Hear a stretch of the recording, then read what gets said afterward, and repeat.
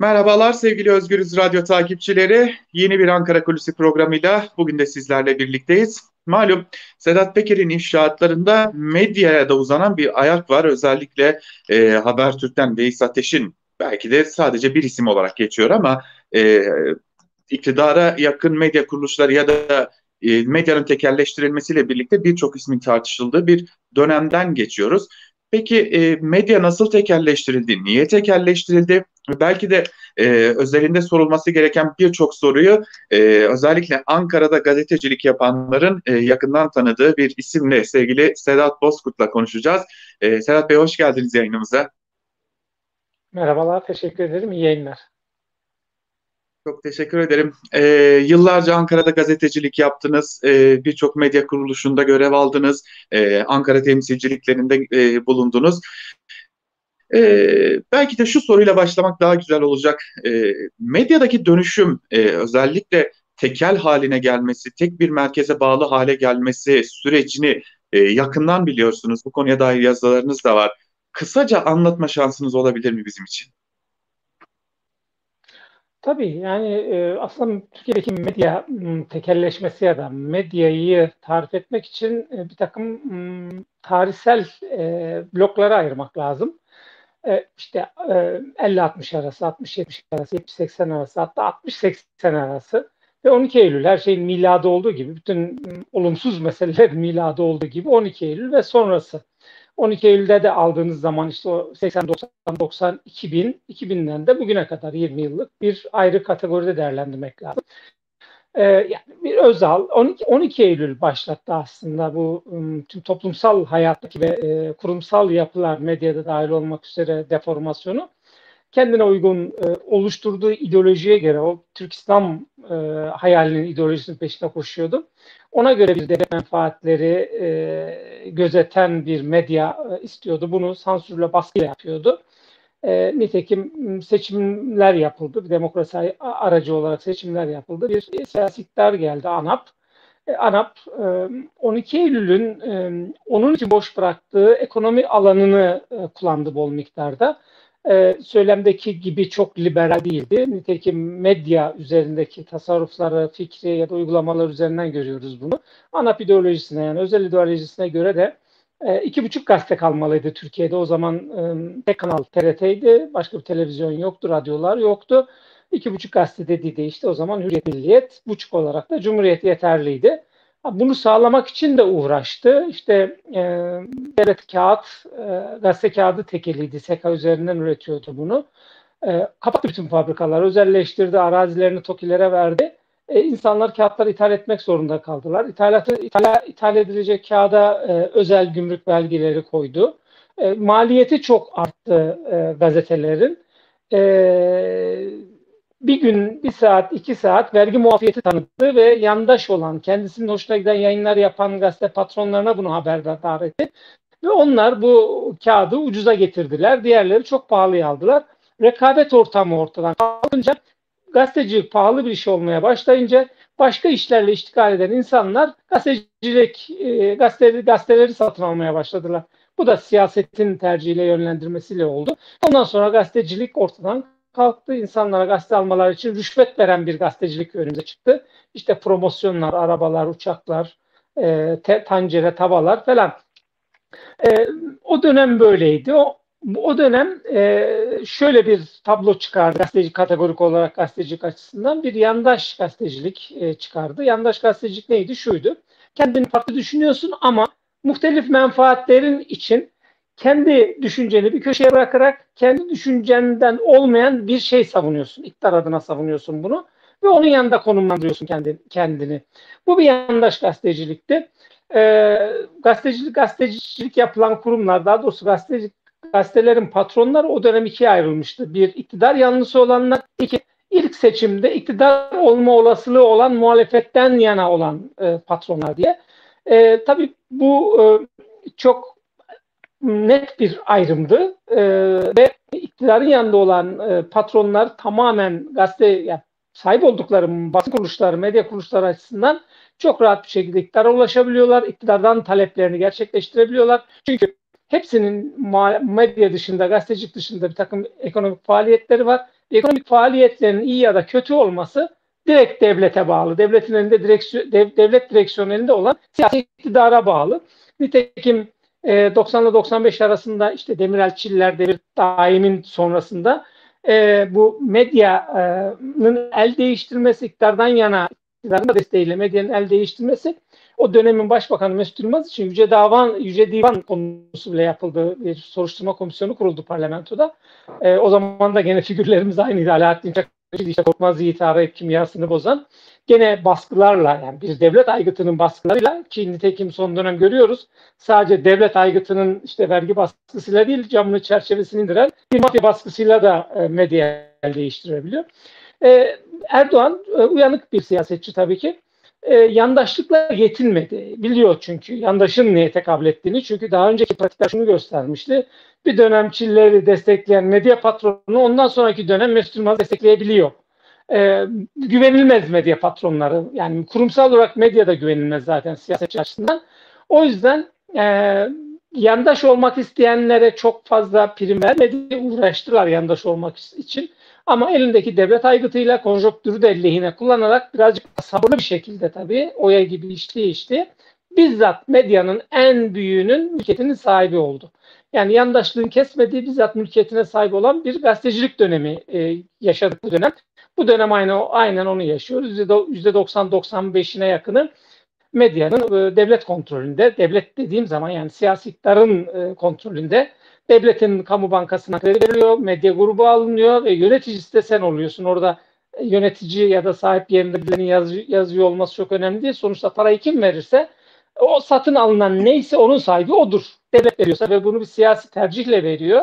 E, sonuçta kamu bankası devlet adına bir e, medya kuruluşunu alıyorsa ona kim karar veriyorsa orayı da o yönetir. Aynen bugün tablo bu. O yüzden buralarda çok gazetecilik de beklemiyorum. Bugün Türkiye'de çok ciddi bir medyada devlet tekeli vardır. Ee, eskiden hani tek kanallı bir devlet tekelinden söz ediyorduk. TRT onu bile eleştiriyorduk. Ya da devlet denince resmi gazete aklımıza geliyordu. Ama bugün bizzat devletin mülkiyetine sahip oldu. Devleti yöneten siyasi iktidarın mülkiyetine sahip oldu ve bu mülkiyete sahip olmak için de devletin kurumlarını kullandığı bir medya düzeniyle muhatap oluyoruz. Bugünkü tablo aynen budur. Biraz da e, aslında e, medyanın durumunu çizdiniz hocam. E, bir de gazetecilerin durumu. E, yeni yeni figürler, yeni yeni isimler e, özellikle tekelleşmeyle birlikte ortaya çıkmaya başlıyor. E, işte Sedat Peker bunlardan birini örnek verdi ama bunları e, bunlara benzer birçok isim var ve inanılmaz lüks hayatların yaşandığı bir ortam var. Şundan soruyorum bunu. E, ömrünüzün e, büyük bir bölümünü gazeteciliğe ayırdınız. E, medya sektöründe gazetecilik yapan insanların e, böyle lüks hayatlar yaşadığına yani gerçekten gazetecilik yapan insanların böyle lüks hayatlar yaşadığına şahit oldunuz mu? Ve bir de şunu sormak istiyorum esasen e, isimler figürlerin değiştirilmesi yani Türkiye'de güven adına güvenilen gazetecilerin yerine e, televizyon programcılarının yerine e, isimleri şaibeli tartışmalı olan insanların getirilmesi medyanın halka yansımasında ne gibi etkiler yaratıyor? E, tabii makarayı yine biraz başa saralım. E, bir e, halkta bir medya düzeni var. Bunu söylemek lazım. Kendi derdine derman olmayacak bir medya düzeni olduğunun farkında kitleler. Yani ben işte Rüzgarlı Sokak'ta, Günaydın'da gazetecilik yaparken omuzuma fotoğraf makinesi muhtelif olay mahallelerine gittiğimde e, vatandaşlar başka başka sorunlarını dile getirirler. İşte suyumuz akmıyor, geçinemiyoruz, kaldırımımız yapılmıyor diye. Çünkü gazeteci halkın derdini yüksek sesle dile getirdiği zaman siyasi iktidarın ya da devleti yönetenlerin buna kayıtsız kalamayacaklarını ve bu ortadan kaldıracaklarını biliyorlardı. E şimdi medyanın bu aracılık görevi yani halkla, kitlelerle, kitlelerin sesini olmakla, ses, sesini yüksek sesle dile getirmekle gibi bir işlevi olmadığını de o zamanlarda fark etti zaten insanlar. O yüzden Türkiye'de gazete, gazete tirajı hani bu teknolojik gelişmeler olmaksızın sürekli düşüyordu ya da aynı kalıyordu hiç yükselen bir gazete tirajı yoktu. Yani işte cemaatin çıkardığı yayın organları abonelerine direkt gönderilen, paketler içine gönderilen yayın organlarını bir köşeye bırakırsak hiç tirajı artmayan bir gazete düzeni vardı. Yani nüfusunuz iki misline çıkmış ama gazete e, satışınız hemen hemen aynı. Eskiden e, gazeteler evinize kapınızın önüne kadar gelirdi. Dağıtırlardı size sabah gazeteyi, gazete bayileri. Ve gazete bayi, bayiciliği devredilirken çok e, para kazanılan bir işti. Çünkü gazeteye talep vardı. İnsanlar gazete okuyorlardı. E, gittiğiniz zaman berberde önünüzde gazete olurdu, bakkalda gazete olurdu. Esnaf gazete okurdu ve okuduğu gazeteydi gerçekten. Yani e, o, o zaman iki ayrı kutubu olarak kendini konumlandırıp gazetecilik yapan kurumlar üzerinden söyleyeyim. Tercümanda Cumhuriyet'te hangisini alırsanız alın o gün memlekette ne olduysa iyi kötü sunuş farklılıkları ya da gazetedeki kullanış yeri, kullanış farklılıkları, boyutları büyük ya da küçük o habere e, sahip olurdunuz. O haberden bilgide bilgi sahibi olurdunuz o haberle ilgili. Şimdi tam tersi. Yani gazetecilik yapılan kurumlar yok. Bir de halktan kopuk oldukları için halkın da bunlardan gazetecilik yapmak gibi gazetecilik yapma beklentisi gibi bir şey yok. Olsa zaten tavır koyar. E, ya gazeteyi alır ya da almaz. Ya da televizyonu izler ya da izlemez. Yani e, diz, dizilerin e, izlenme oranının onda bir kadar haber bülteni izleniyorsa ki haber bülteni insanın o kendilerine sunulan kurgu olarak sunulan diziden daha bağımsız olarak reel hayatını etkileyecek bir şeyden söz ediyorum. Bundan bile bu kadar koptular. Medyanın itibarı ya da kamuoyunun geniş kitlelerin karşısındaki e, algısı böyle. E, ya para bul meselesine denk gelirsek şöyle bir şey. Biz şanssız bir kuşaktık. Bizim kutup yıldızlarımız, deniz Uğur Mumcular da, İpekçilerdi. Hedefimiz onların yaptığı gazetecilikti. Şimdi öyle bir şey yok. Şimdi e, gazetecilik kullanışlı bir malzeme oldu. Bir meslek olmaktan çıktı. Bir aracılık yapılan iş haline geldi bazı e, şey yani siyaset ya siyaseten kimlik oluşturmak için ya ekonomik olarak bir varlık oluşturmak için böyle bir e, kimlik oluşturmak için bir zemin haline getirildi. Oysa bizim zamanımızda e, haberdi en büyük zenginlik. Yani işte Uğur Mumcu'nun yaptığı habercilik, Adli Pekşi'nin yaptığı, Erbil Tüşalp'in yaptığı habercilikti. Onlar gibi habercilik yapmalıydık. Çok tehlikeliydi bunlar ama mesele değil. Gazetecilik mesleki tatmin e, yeterdi o, ondan daha büyük bir zenginlik yoktu. Çünkü öyle kabul görüyordunuz ve o kabul çok kıymetliydi. Oysa şimdi kabul görmeniz için cep telefonunuzdan arabanıza e, ya da e, işte oturduğunuz eve kadar pek çok maddi e, varlıklar etken oluyorlar.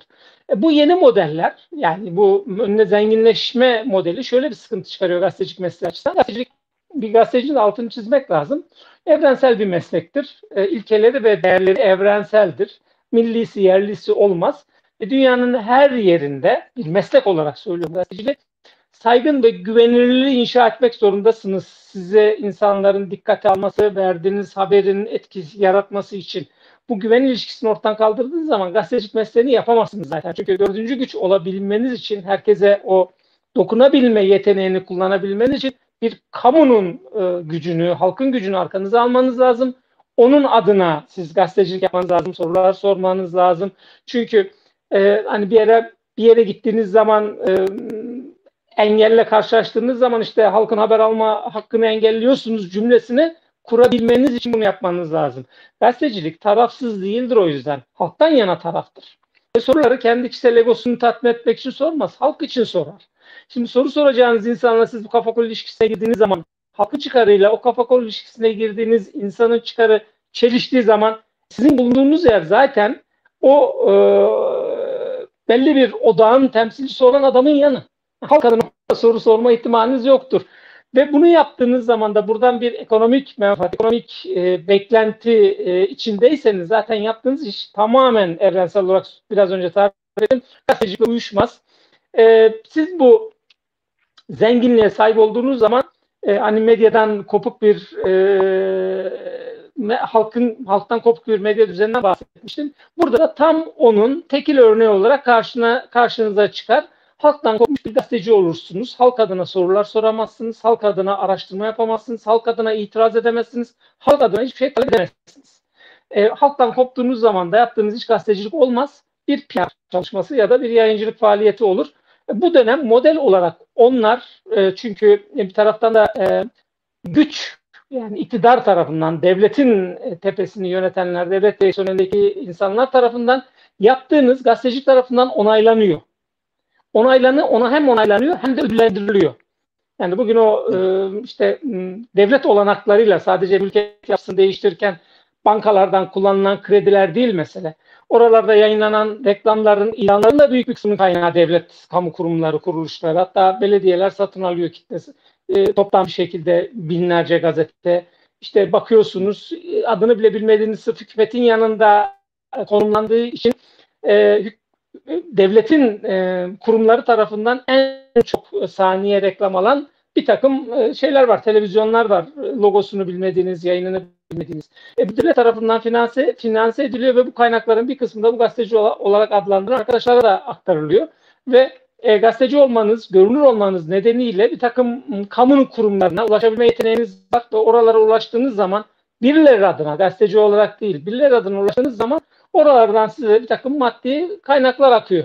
E, bunun karşılığında da işte biraz önce e, söylediğiniz gibi yani bizim bildiğimiz ama kamuoyunun şimdi şimdi çok çok e, daha yakından tanıdığı e, aniden zenginleşmiş, zenginliğinin kaynağı belli olmayan e, ve daha önce böyle şeylere muhatap olmadığı için gazeteciliğe de sonradan girdikleri için gazeteciliğin ne anlama geldiğini de tırnak içinde kavrayamadıkları, bilmedikleri için bir anda e, parayla haşır neşir olan ve nereye harcadığını bilmeyen insanlarla karşı karşıya kalıyoruz. Bunları ben e, genel olarak gazetecilik kategorisinde değerlendirmiyorum tabii ki. E, şunu da sormak istiyorum. Şimdi adı geçen bazı isimler var. E, ve yıllardır aslında e, başta Ankara'da olmak üzere, İstanbul'da olmak üzere e, bilinen, en azından meslek içerisinde bilinen, tanınan, tartışılan isimler var.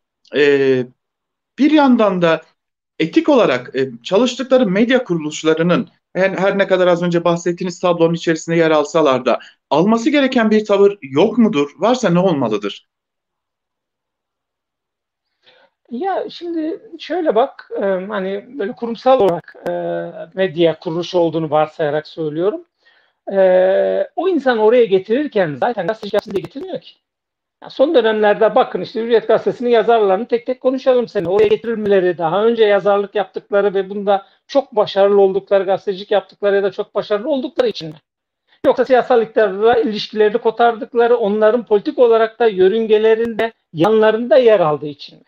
Ondan beklentiniz bu olduğu zaman zaten otomatikman bu tablo bile sizi rahatsız etmez. Yani şu ortaya çıkan tablo hani, rahatsız etmez sizi çünkü e, o sizin yapmak istediğinizin somut bir örneği. Siz de onu oraya getirerek siyasal iktidarla bir ilişki kotarmak ve ilişki üzerinden de bir takım ticari işlerinizde kolaylama, rahatlama falan istiyorsunuz. Gazetecilik istemiyorsunuz ki. Tam tersi onları oraya e, gazetecilik yapıyormuş gibi çünkü kurumun adı öyle ya muş gibi yapsınlar diye getiriyorsun.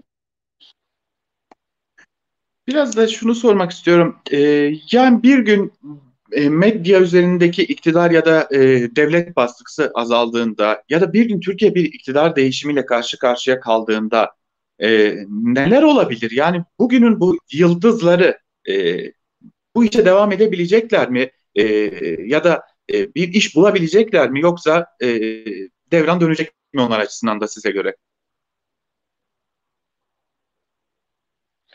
Valla ben e, orada sizler gibi bağımsız e, gazetecilik yapan e, arkadaşlardan umutluyum. Bunların hepsini kayıt altına aldım. Çünkü o dönem işe yarayacak. Ben halen meslek örgütlerinde aktif olarak görev alıyorum.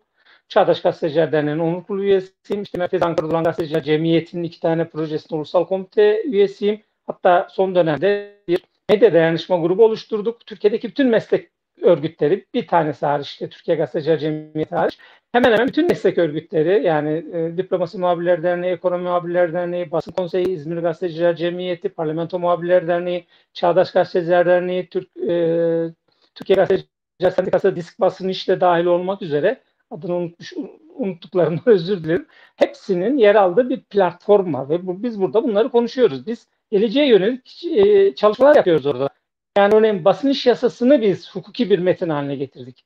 Basın kartları yasasını ve yönetmenliğini bir hukuki bir metin haline getirdik avukat arkadaşlarımızla birlikte. Sendikadaki görevli arkadaşlarımızla birlikte, e, avukat olarak görevli arkadaşlarımızla birlikte ve bütün örgütlerin onayıyla, tartışmasıyla oluşturduk, ortaklaşa katılımıyla oluşturduk bu metinleri. Yani Türkiye'nin geleceğine yönelik bir hukuki mevzuat çalışması var meslek örgütlerinin meslek örgütleri bu dönem müthiş bir dayanışma çabası da sergiliyorlar. Bunları da bunu da altını çizmem lazım. Ee, ve ortaya da iyi şeyler geliyor. İşte bağımsız gazetecileri, genç gazetecileri, bağımsız gazetecilik yapmak isteyenleri e, destekliyorlar da. Benim de içinde ulusal komitede üye olarak yer aldığım fon, AB'nin fonunu kullandırılmasında böyle bir görevimiz var. Yani 2000 küsür e, işsiz ya da genç gazeteciye ekonomik olarak, maddi olarak dokunulan bir projedeyim ben şu anda. Ee, ve bu projede uzatıldı şimdi. Bizzat AB'nin kendisinin e, talebiyle uzatıldı. Ee, şimdi bu çalışmaların hepsi bugüne ait bir takım veriler biriktiriyor. Yani biz burada bunları yaparken bir taraftan da hani ideal gazeteciliği değil, normal gazeteciliği e, muhafaza etmeye çalışıyoruz. E, ideal gazeteciliği ucu, ucu olmayan bir şey. Hani normal gazeteciliği yaparken de bugün yaşadıklarımız anormallikler üzerinden anlatıyoruz. Bugün e, çünkü her normalin belirteci anormalidir. Şimdi bu dönem e, öyle ya da böyle muhtelif yayın kuruluşlarında kendine gazeteci, yazar, işte genel yayın yönetmeni ya da muhtelif medyaya ilişkin yönetici sıfatları e, taşıyan insanlar e, bir iktidar değişikliğinde bu sıfatlarını tekrar muhafaza ederler mi? Ben çok emin değilim ondan. Çünkü siz burada itiraz edeceksiniz, ben burada itiraz edeceğim. Bizim o gün yaptığımız çalışmaların ortaya çıkan metinleri itiraz edecek zaten. Aslında kategorik olarak ben medyayı bugün ikiye ayırıyorum. Bir, işte iktidarın bizzat mülkiyetinde büyük bir kısımda kontrolünde tuttuğu medya kuruluşları var. Ben burayı gazetecilik yapılan kuruluşlar olarak değerlendirmiyorum. Çünkü gazetecilik yap, yapmadığınız kriteri şudur. Haberse veriyor musunuz, vermiyor musunuz? Veriyorsanız veriş biçiminiz önemli. Biraz önce Tercüman ve Cumhuriyet Gazetesi'ni örnekleme vermiştim. Kendinizi politik olarak konumlandırdığınız yerden küçük verirsiniz, büyük verirsiniz, farklı bir başlıkta verirsiniz, farklı bir detayı öne çıkararak verirsiniz ama haberi verirsiniz. O haberi verdiğiniz sürece yaptığınız iş haberciliktir. Sizin mesleki kimliğiniz de gazeteci ya gazeteciliktir. Şimdi e, Hürriyet Gazetesi işte bir taraftan devlet kurumlarıyla üstüne baskı vermek üzerine bir baskı uygulanırken öbür taraftan mafyatik yöntemlerle camı çerçevesi indirildi ve bu itiraz edildi bizzat yapan tarafından. Hani bizim gibi gazetecilik, yap, gazetecilik yapan insanlar tanıklar üzerinden aldığı dolaylı bir aktarma değil. Eylemin içinde bizzat organize eden, yöneten kişi tarafından anlatıldı bu. E, bu ciddi bir haberdir. Yani e, Tanzanya'ya gitseniz bunu anlatsanız oradaki e, genel basında bile yer alacak bir haberdir. Ama bunun muhatabı olan kurum da yer almadı. E, yani bakıyorsunuz Sedat Peker'le ilgili e, açıklamalarına yani e, itibar etmeyebilirsiniz. Çünkü bir suç örgütünün lideri, mafya örgütünün lideri diyebilirsiniz ama muhatabı İçişleri Bakanı ve İçişleri Bakanı onun iddialarını e, karşılayamıyor, yanıt veremiyor, sizi ikna edemiyor. Yani devleti temsil eden insanlardan daha etkin, daha delilli, daha gerçek bilgi sunuyor size. Şimdi bunu yok sayamazsınız siz. E bunların hiçbirinin oralarda yer almadığını görüyoruz. Yani bunlar yer almayacaksa, yani bunlar yer olmayan şeyler midir? Mümkünat var mı? İşte kriter neyse özneleri değiştirelim. Gidip her dünyanın çok gelişmiş olmasına da ihtiyaç yok. O yüzden Tanzanya'ya örnek verdim biraz önce. Ya Çin'de bile bir yerlerde bu en azından bir internet sitesinde haber olur. E, şimdi bunları evet. yayınlamıyorsunuz. Daha geçmişe hani daha somut bir örnek üzerinden. Ekonomik krizdeki bir ülkenin ekonomi bakanı aynı zamanda da e, Cumhurbaşkanı'nın yani oradaki mutlak iktidarın damadı olan e, bakan istifa etti. E, 48 saat biraz önce kategorik olarak e, medyanın dışına taşıdığım grupların hiçbir bunu haber verme haber olarak vermedi. Yani bu haber ise başka ne haberdir? Yani o haberin tarifindeki işte köpeği ısıran insan o belirtilirken kullanılan örnekteki köpeği ısıran insana vazgeçtik. Köpeğin ağzını, burnunu, gözünü yiyip yemiş bitirmiş bir insan modeli var karşımızda ve siz bunu haber olarak e, yer vermiyorsunuz. O yüzden oraları gazetecilik yapılan kurumlar olarak değerlendirmiyorum. Oradaki e, arkadaşların da kendilerini gazeteci olarak tarif etmesini çok anlamlı bulmuyorum. Çünkü e, her kendini gazeteciyim diyen insanı biz yaptıklarını, eylemlerini gazetecilik açısından değerlendirmeye başlarsak bu işin içinden çıkamayız ve oraları da o insanları da gazeteci ve gazetecilik yapılan kurumlar olarak mışlaştırırız. Ben baştan daha radikal, daha keskin bir kategori ortaya koyuyorum ve ona tamamen gazetecilik alanımın dışına çıkarıyorum. O yüzden benim e, e yani bugün DSİ Genel Müdürlüğü'nü ne kadar eleştirebilirsem oraları da o kadar eleştirebiliyorum. Onlar da devlete bağlı bir genel müdürlük gibi. Kendi hiyerarşileri de öyle zaten. Habercilik refleksleri de aynısı. O değişik, e, o yüzden onları ben herhangi bir devlet kurumundan farklı bağımsız gazetecilik yapılan, hatta gazetecilik yapılan kurumlar olarak görmüyorum. Ben bu tarafa ilgiliyim. Yani e, kendini hep herkes muhalif diyor. Ben çok muhalif demek istemiyorum. En azından hükümet e, iktidar yanlısı olmayan e, ya da gözüken e, medya kuruluşlarıyla ben ilgiliyim. Oradaki gazeteciliğe bakıyorum, gazetelere, yazarlara bakıyorum. E, en büyük arızaların oralarda olduğunu görüyorum zaten. Aslında hani bir iktidar değişikliğinde e, bizim üstünde yoğunlaşacağımız alan da tam burası. Yoksa küçük kendi çapında her şeye rağmen üstteki baskılara rağmen gazetecilik yapmaya çalışan arkadaşlarımız var. Gazetecilik yapmaya çalışan kurumlar da var orada. Ama iktidardan bir şekilde operasyon yedikten sonra gazetecilik refleksleri zayıflamış ve gerçekten e, hiç de havuz medyasını ya da iktidarın kontrolündeki medyayı aratmayacak reflekslerle hareket eden oralarda da e, habercilik anlayışı olduğunu görüyoruz. E, hani yazarlarından, çizerlerinden bağımsız olarak söylüyorum bunu. E, bir iktidar değişikliğinde yani olası bir seçimde bir iktidar değişikliğinde e, her şey yeniden formatlanacak. Medyanın da gazeteciliğin de buna hazır olması lazım. E, ben buna yeterince hazır olunduğu kanaatindeyim ama her zaman e, bir siyasetçi şeyi çok seviyor. Bir medyada görür olmayı falan çok seviyor. Yani halkla siyaset yapmayı bir anda bırakıp işte bir kişiyi temsilen medyayla muhatap olmayı tercih ediyor. Ben bunu yaşadım da. Örneğin e, Turgut Özal'ın oğlu Star 1 diye bir televizyon kurmuş Cem Uzan'la. E, o zaman e, Yaşar Topçu değeri e, milletvekiliydi, Sinop milletvekiliydi. Hep her gün basın toplantısı düzenleyip bunu eleştirirdi.